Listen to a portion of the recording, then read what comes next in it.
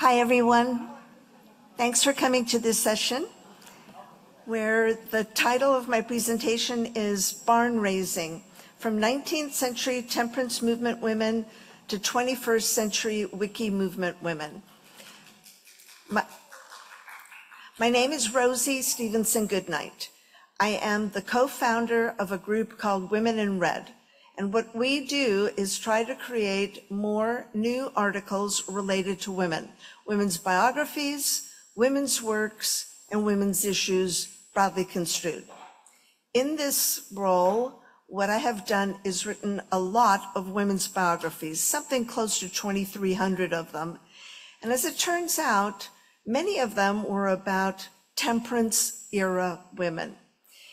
And it came to pass that thinking about these temperance era women, I saw some parallels and some compare and contrast in my mind between those women and what they did, the hurdles they faced, the opportunities they had, the way they moved forward, and similarities with wiki women of today. So here I am speaking to you on the topic. This is my second time, spoke about it at Wikimania in Katowice in August. The image you see here is of Mary Howard Willer, a temperance activist from Indianapolis. We have a lot to cover and my time has been shortened by just a little bit, but we'll get, we'll stay on track. This is what the agenda shall be. Let's get started. Barn raising. Why do I use that word? Barn raising historically was a raising bee or a rearing in the United Kingdom. It was a collective action. It involved a community and involved usually a barn for one of the members of the community it was then built or rebuilt collectively by members of the community. Similarly with temperance, there was often one person in a community who started it, but together with the rest of the community, they built something, they made something of it. The temperance movement. Well, according to Wikipedia, the temperance movement is a social movement promoting temperance or complete abstinence from consumption of alcoholic beverages. Participants in the movement typically criticize alcohol intoxication or promote teetotalism, and its leaders emphasize alcohol's negative effects on people's health, personality, and family lives. Typically, the movement promotes alcohol education and also demands the passage of new laws against the sale of alcohol, either regulations on the availability of alcohol or the complete prohibition of it. Now, back in the 19th and early 20th century, the temperance movement became prominent in many countries, particularly English speaking, but also Scandinavian and also majority Protestant ones. And it eventually led to national prohibitions in Canada, 1918 to 1920, in Norway, spirits only, from 1919 to 1926, in Finland, 1919 to 1932, in the United States, 1920 to 1933, as well as provincial prohibition in India, 1948 to present. The temperance movement in the United Kingdom was a social movement that also campaigned against the recreational use and sale of alcohol and promoted total abstinence. The early temperance movement was inspired by the actions of Irish Presbyterian Church minister John Edgar, who poured his stock of whiskey out of his window in 1829 and wrote the Belfast Telegraph advocating temperance. Edgar and other early advocates concentrated their efforts on the elimination of spirits rather than wine and beer. The first organization that promoted temperance was founded a little later, 1829, by John Dunlop and his aunt, Miss Lilias Graham of Gairbraid, and named the Glasgow and West of Scotland Temperance Society. In the United States, the temperance movement was born with Benjamin Rush's 1784 tract called An Inquiry into the Effects of Ardent Spirits upon the Human Body and Mind, which judged that excessive use of alcohol was injurious to physical and psychological health. Influenced by Rush's inquiry, about 200 farmers in uh, Connecticut formed a temperance association in 1789 to ban the making of whiskey.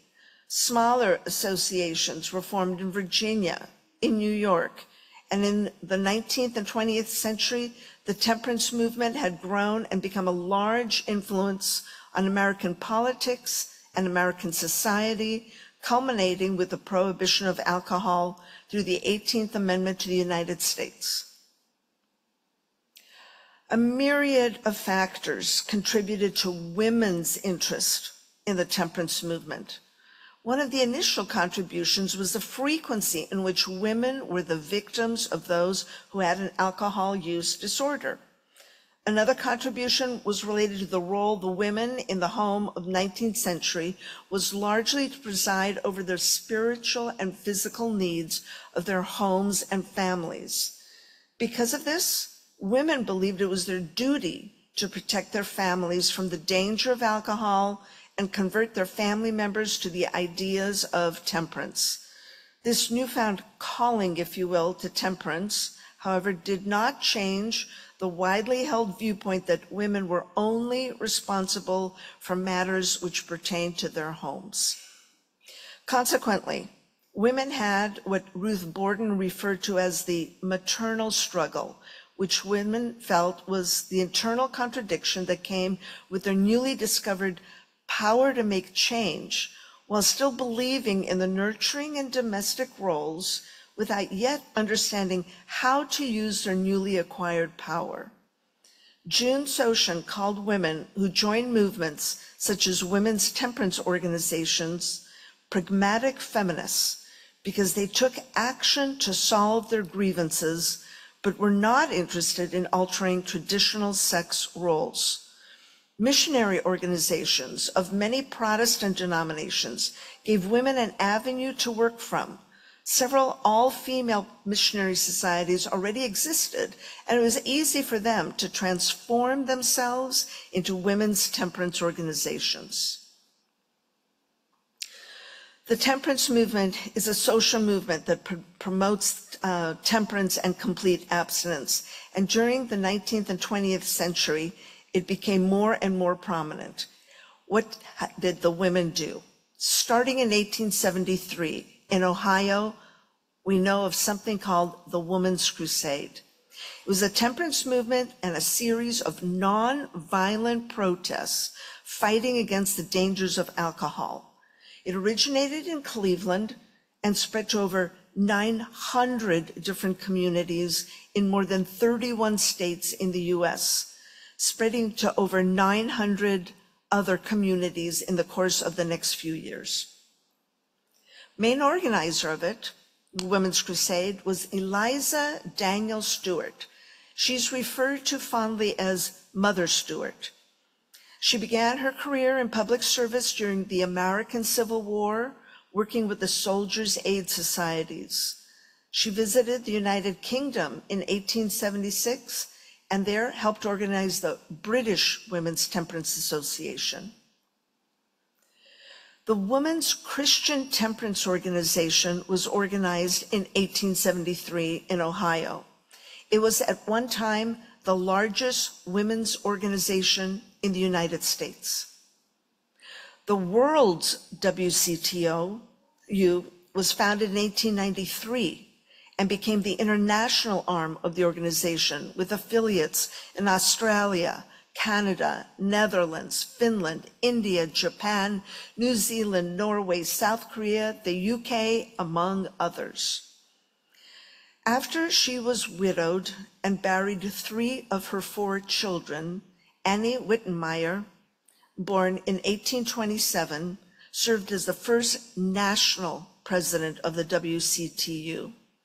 She was, by the way, also the seventh national president of the Women's Relief Corps and also served as president of the nonpartisan National WCTU.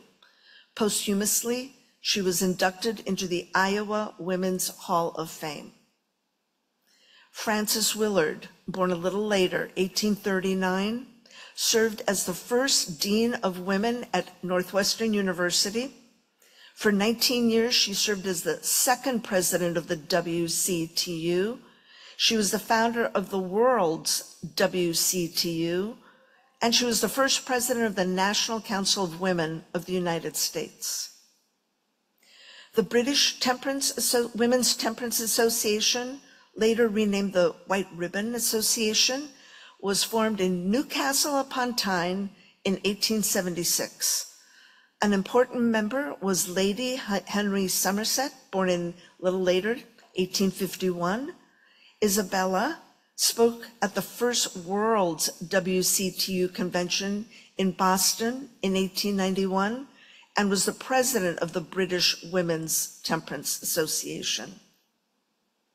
The Swiss Federation of Abstinent Women was organized in Switzerland a little bit later, 1902, by the Zurich writer and activist Hedwig Bleuler-Waser, together with the Dr. Marie Heim Vogtlin and the women's rights activist Clara Ragaz-Nadig.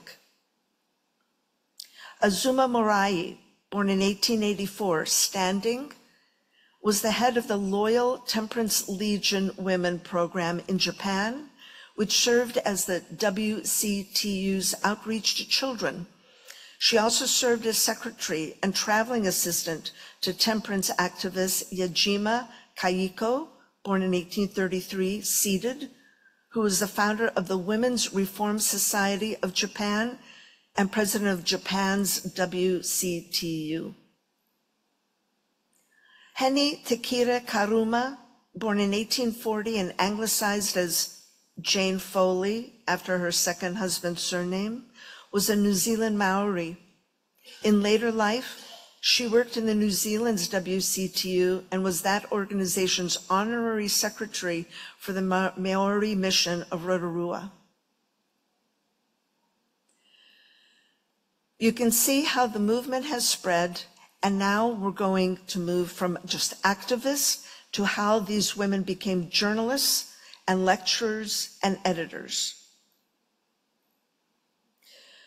Lillian Stevens, born in 1843, helped launch the Maine State Chapter, Maine State chapter of the WCTU. After Frances Willard died, Stevens was elected as the third president of the national WCTU. She also served as the editor in chief of the WCTU's national organ, the Union Signal.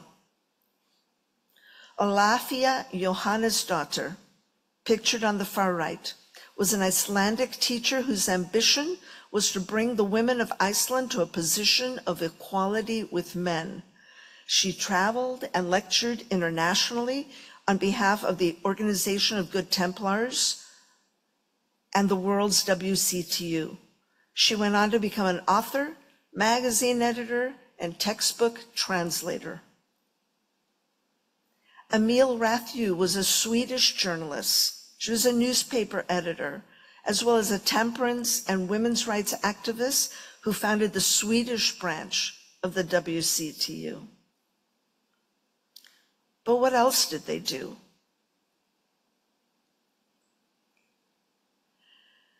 There are a lot of convenings that these women put together without the benefit of the internet without the benefit of planes to fly them from here to there.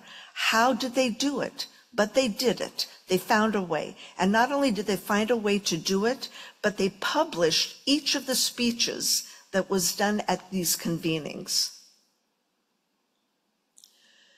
Thumbnail Sketches of White Ribbon Women, published in 1895, has some of these uh, speeches.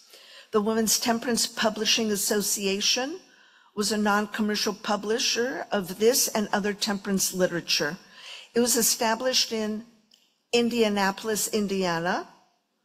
It was a concept of Matilda Carse, an Irish-born leader of the temperance movement. It was designed as a joint stock company. No man could own its stock. It could only be sold to WCTU women. Around the world, in many languages, temperance women publish pamphlets, journals, magazines, newspapers, essays, children's literature, convention reports, bibliographic compilations, almanacs, and more, all in the name of the temperance movement. Photos, handwritten records, conference proceedings.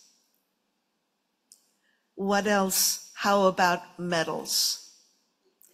The Demorest Medal Contest was established in 1886.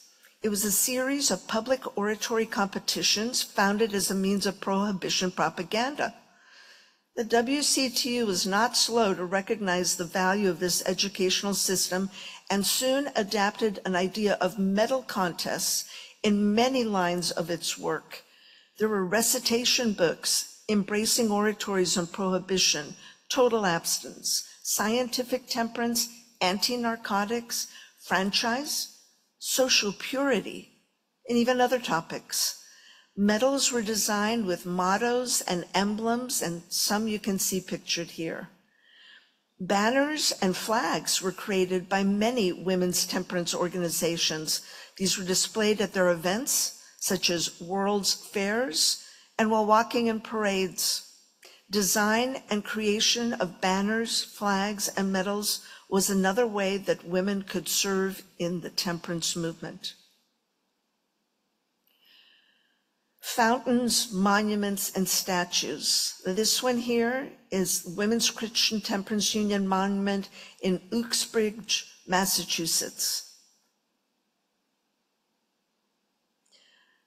Known as the Temperance Temple, or the Women's Temple, or the Woman's Temple, this was at one time the headquarters of the National WCTU in Chicago. It was built in 1890 when the WCTU numbered 200,000 women and an additional 200,000 children were the members of the WCTU's Loyal Temperance Legions. This building was demolished in 1926. Predating the Temperance Temple, the Frances Willard House in Evanston, Illinois, was a longtime headquarters of the WCTU.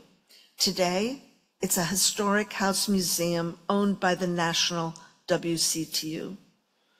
The Women's Christian Temperance Union Administration Building, also located in Evanston, Illinois, served as the publishing house and national headquarters of the WCTU in 1910 and was added to the U.S. National Register of Historic Places in 2002.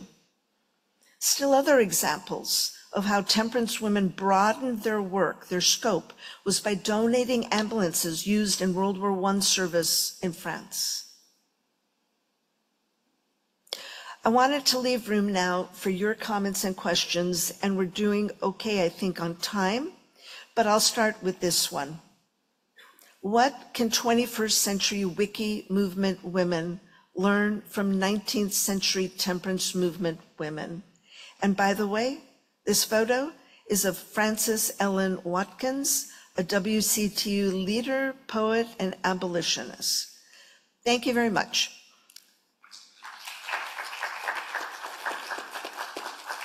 I don't know who has the mic. Okay. Um, so that's the question I'm starting with is what can 21st century wiki women learn from 19th century temperance movement women? What do you think?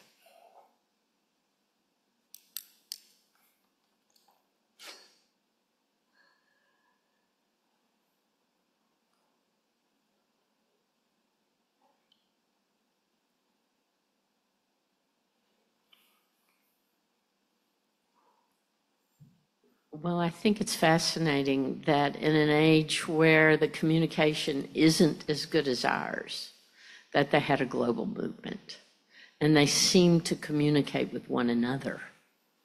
And I assume that was through letters because what else was there? And so I think if there is a way we can really solidify the gender issues with other women and men. We don't need to leave men out anymore, I don't think. uh, that might be something we could learn of, of how to communicate better across, uh, uh, globally, globally. Thanks, Ross. What else? Although I think you nailed it.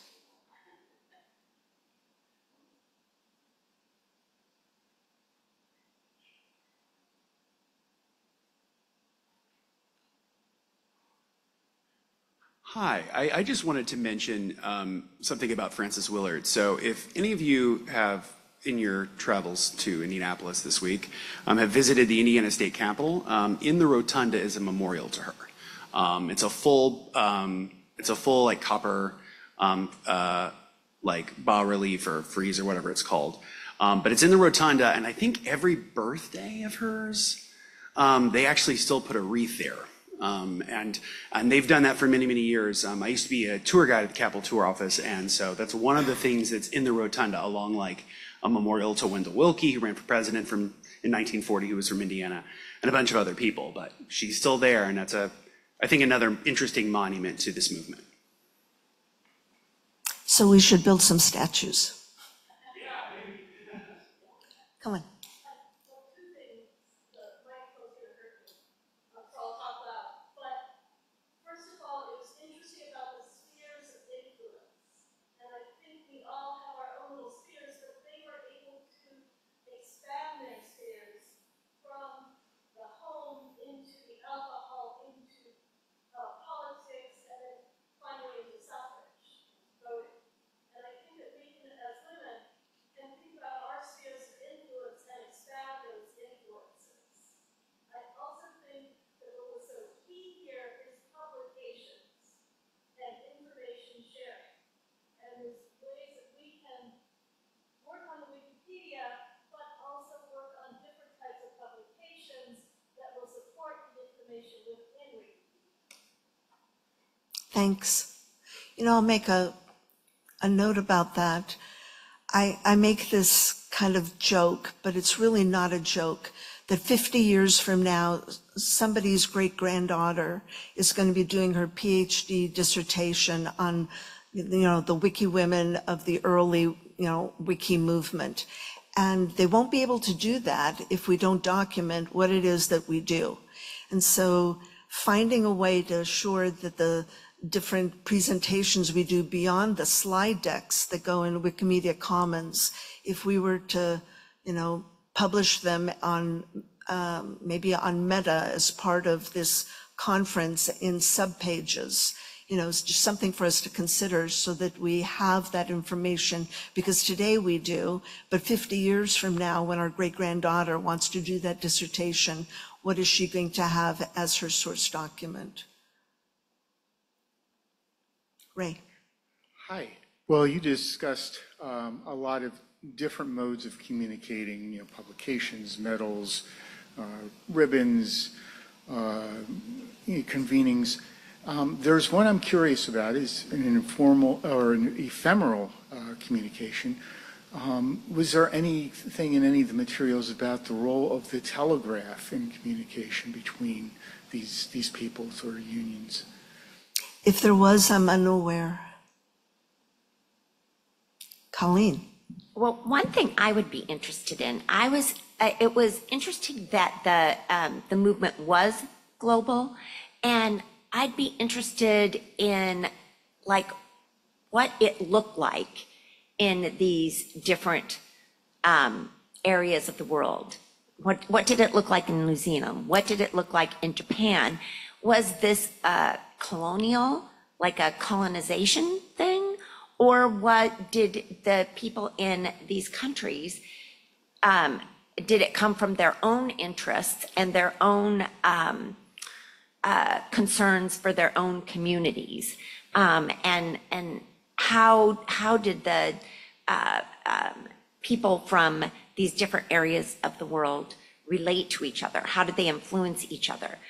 That would be interesting information um, uh, to me and to our group, I think, in terms of the work that we do across cultures and, um, and how it is that we don't necessarily impose our view of how things should work, even on Wikipedia, or what counts on Wikipedia. How do we, how do we, um, how do we um, stay open to what's important in another culture?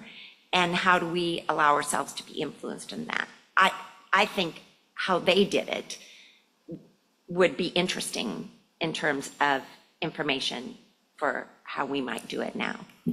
There is some information about that. For example, New Zealand archives and Australian archives. I saw there's quite a bit of information. I'm not able to access it, but there is a lot of information. I think I've written most of the articles about the Temperance Hero women are about American women because I have access to that information. But if others had more interest and wanted to do the research in their areas, they could find it. I think in some countries, it was the influence of, as I said early in my presentation, of missionaries. So a missionary went to Japan and, you know, that's how the um, information about the movement maybe got to a country like Japan, maybe not. But there was another factor, and that's that these, some of these women didn't just stick with temperance as being the issue that um, they supported. They were also interested in suffrage. Some of them had an overlap. Some of them left temperance to work on suffrage. Some then were, as time moved forward in the early 20th century, were interested in the peace movement. And so the overlap might be that you started thinking about, you know, one movement and then you developed interest in another. You may have stuck with both or you may have switched the area where you gave your attention. And that might be a way that you had um, an opportunity to meet women in other countries I will say, you know, of course, who had the opportunity to travel? It wasn't every woman who had that opportunity. It- The women who had husbands that were diplomats, you know, they were the ones who went to another country. They were in a consul or an embassy and they met other women in other countries that way. But you, you know, you saw a list of convenings. Convenings weren't just in the US. They were international convenings. And by being able to, some women could afford crossing oceans and traveling to these um, various convenings in, in other countries.